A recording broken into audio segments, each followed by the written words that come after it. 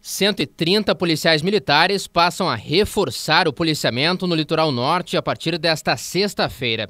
O aumento de efetivo é parte da terceira fase da Operação Avante da Brigada Militar, lançada em cerimônia no centro de Tramandaí. Essa operação começa agora, mas ela vai se, vai se alongar até o início da Operação Litoral, portanto nós vamos ter aí, durante praticamente seis meses, um trabalho muito intenso para reduzir a criminalidade e a violência no litoral norte. O foco desta fase da operação, que segue até 12 de dezembro e conta com investimento de 800 mil reais, será o combate a homicídios, assalto a pedestres e roubo de veículos.